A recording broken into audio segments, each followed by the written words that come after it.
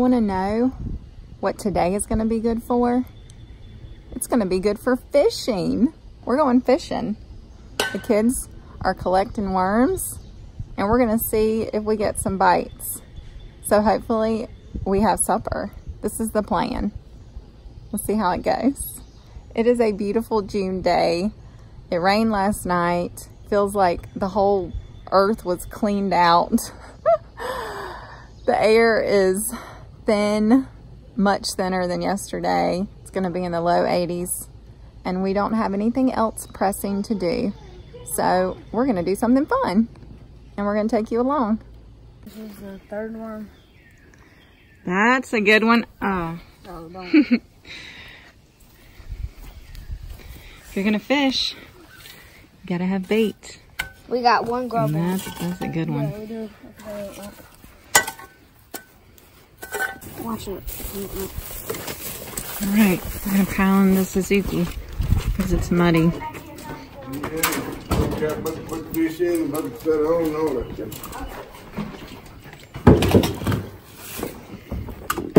Where the fishing supposed to be? Little dog. Y'all ready? That's my seat, Clara. Clara said, well, right now it's mine.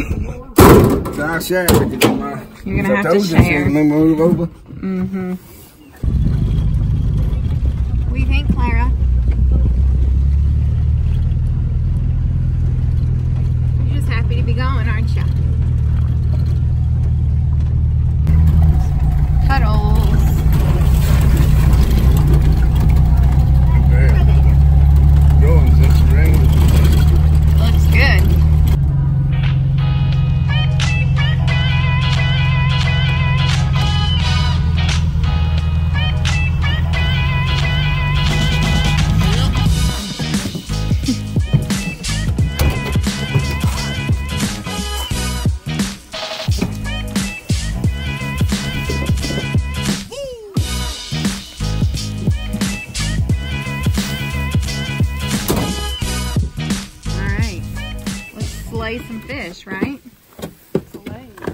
And then fillet.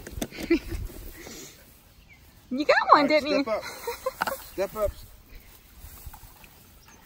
Well, I'll be. Yep. What is this? Is that a brim? It's a brim. Good job, sissy. Look at me. First catch of the day. Woohoo. All right, this is good. Oh my gosh, number three. Woohoo. No, you can't have it, Clara. I guess I would be if I was out the water and I was fishing. Or, like, This one's a little too small, so he gets to go back. I know. Next year maybe bigger. All right. Go. Grow. What'd you say? You hadn't even gotten a nibble. Oh. I didn't have one single one. I think I tested oh. Your sister. She has all the luck, doesn't she? You'll get one. Um, so I just got called out for calling the cork a bobber. What do you call it? Cork? Bobber? Float? Little red thing? so, um, right now, the score is pretty high on my girl's side, but my son's going to start catching here in a minute. And as it goes, I'm just not really big into fishing, but I like being here and hanging out and helping and watching and taking pictures. So that's what I do. Well, Wesley decided if you can't beat them, you join them. So we're going to see what happens. Oh, yeah. Oh my gosh, she just got another one. This is like number 12 or something.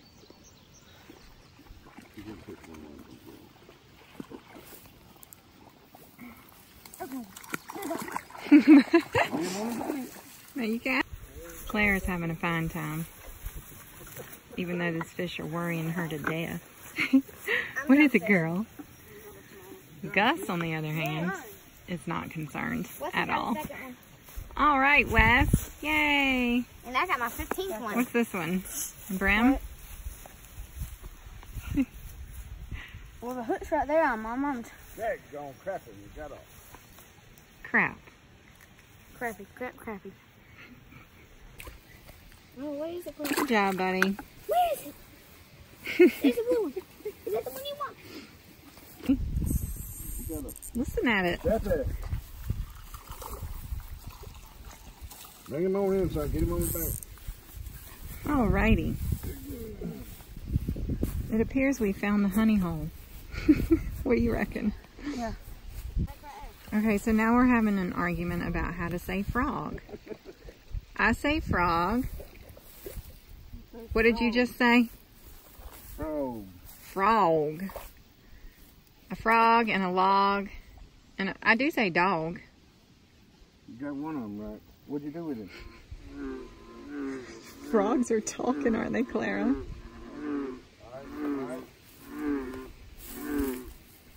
Sound mighty close. So we were just noting how Peed on daddy and it pooped.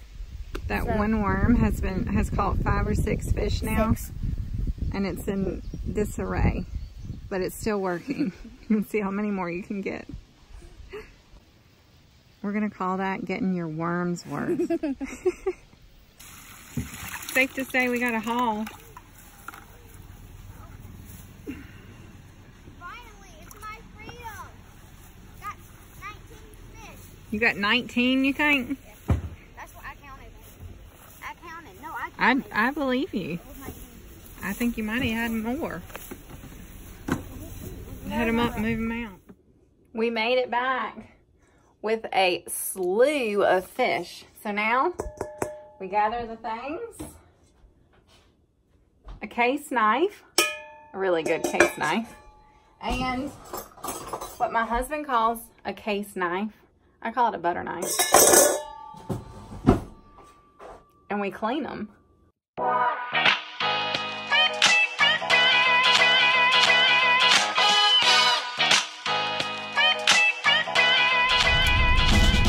Well, this has been a fun day. On my seatbelt. So while my husband cleans the fish, I have to run to town and do a few things. And when I get back, we're gonna fry them bad boys. Cause it's just, it's the right thing to do, is to fry them. And I'm starving, and I just happened to think in another video, it might have been last year, I mentioned nabs, but I, excuse, excuse me while I go over the cattle guard. I never actually told y'all what nabs were. Nabs are these, crackers, little packs of crackers. I believe the term nab came from Nabisco, being made by Nabisco, even though these are not made by Nabisco. We still call them nabs. So, if nabs are not a part of your life, they should be.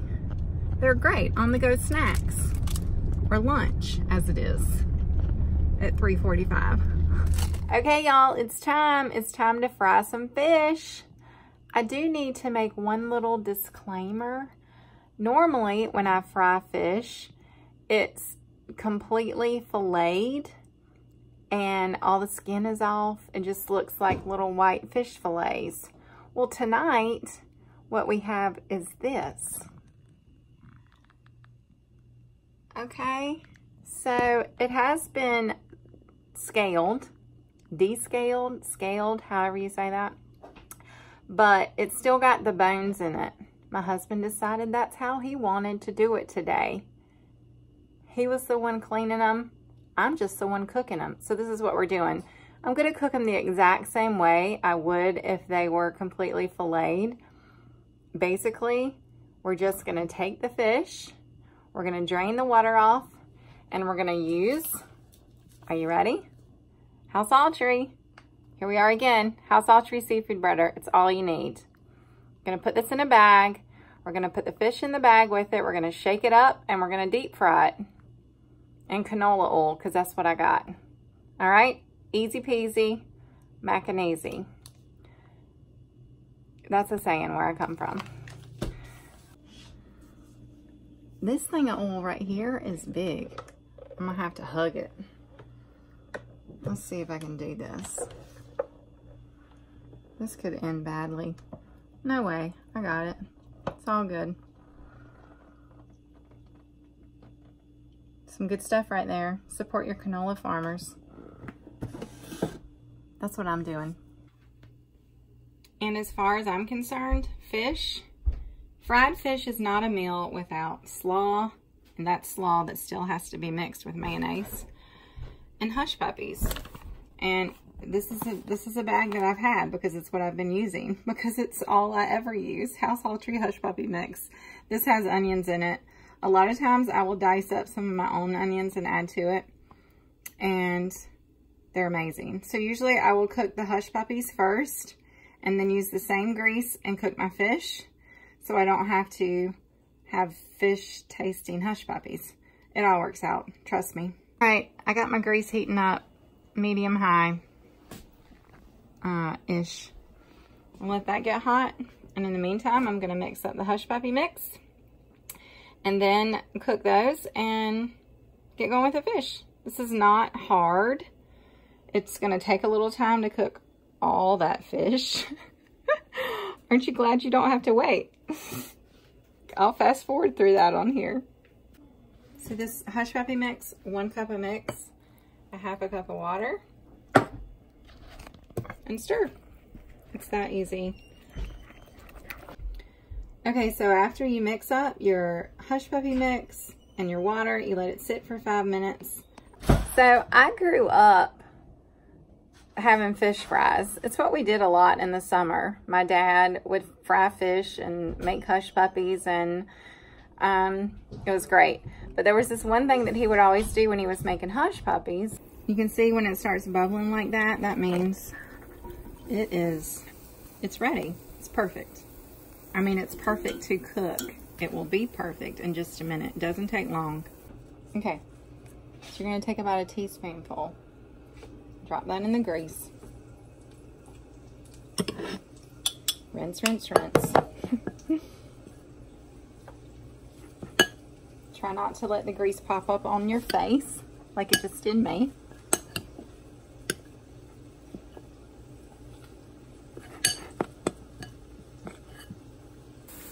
There you go. They're cooking good.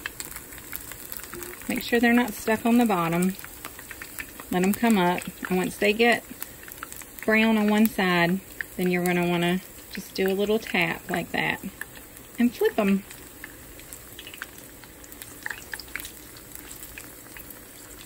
Hush puppies.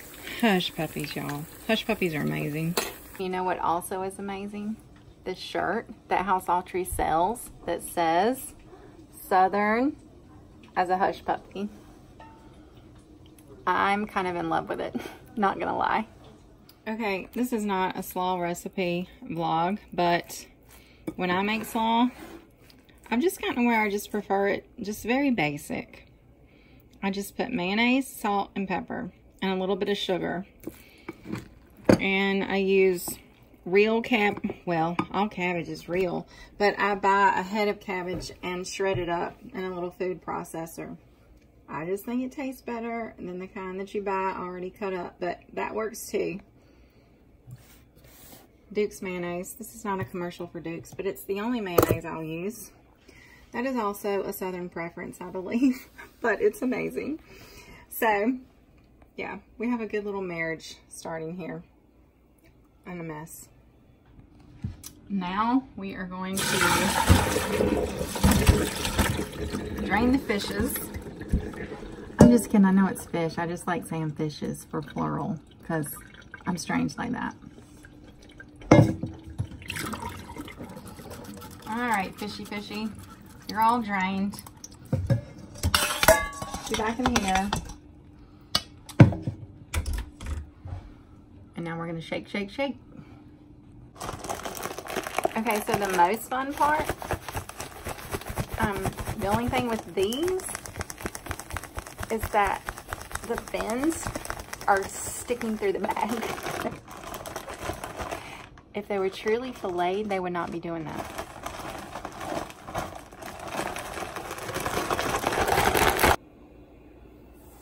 And this little pot is quite small. That'd be quite small for this amount of fish. I think I can do two, maybe two at a time.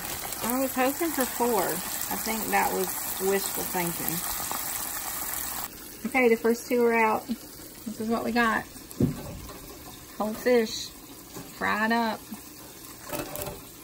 It's hot. Fish I'm cooking here is mainly bluegill and brim. And I don't think I told you about that pond we were at. So that's a pond on our farm. We call it the Moss Farm. We could go into farm names at some point, but basically all of our our farm is named after people that we bought farms from, and that was bought from Mr. Moss. So it's the Moss Farm, and it's the Moss Pond.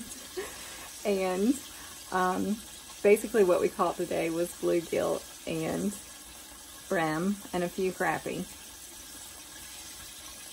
He did fillet some of the crappie for me. This is when I'm used to cooking it like this. See? That's different. Filleted. Mm, not filleted. Filleted. Mm, not filleted. I prefer this, but this is going to taste good too. And like I said, you can cook them both the same way. Also, as the dogs come in, this reminds me, if you happen to catch a lot of fish and you happen to have dogs and you happen to clean them outside and they happen to be around and they happen to eat some of the fish heads, be prepared that that might not settle well, okay? Ask me how I know. Just trust me on this one. Not all heroes wear capes. Some shake bags of fish. That was dumb. I'm probably going to delete that. I'm not cooking all these fish, so I put them in a Ziploc with some water, and they are going in the freezer to be cooked at a later date. Maybe. Okay, just for reference, this is the crappie that he filleted. And that's what I'm used to cooking. So that's what fish completely filleted looks like versus not completely filleted. We're done, y'all. Think about those. They still look like they're living. They, They still look like they're living. if they had their head, they could probably still. no, they're gonna be good. Here you go. How about this? That looks like it's dead.